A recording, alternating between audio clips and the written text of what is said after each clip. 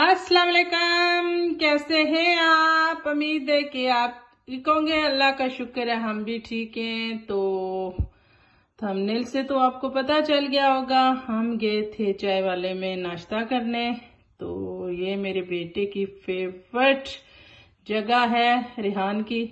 تو ہم لے کے گئے، وہ ضد کر رہا تھا۔ ہم نے جانا ہے چائے والے کے ناشتہ کرنا ہے۔ تو پھر لے کے گئے۔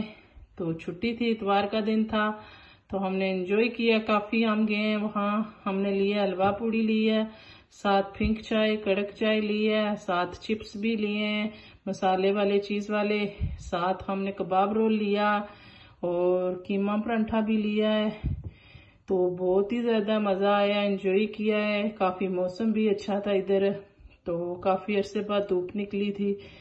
تو وہ کر کے گئے ہمارے گھر سے، کوئی ٹین منٹ کا فاصلہ ہے۔ یہ شاپ ہے۔ ٹون ہے جو ہمارا۔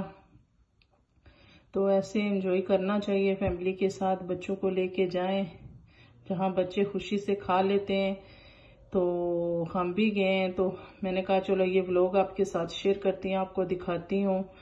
تو اگر آپ کو یہ بلاگ پسند آئے لائک اور شیئر کرنا کمنٹ کرنا۔ خدا حافظ۔ دعاؤں میں مجھے یاد رکھنا۔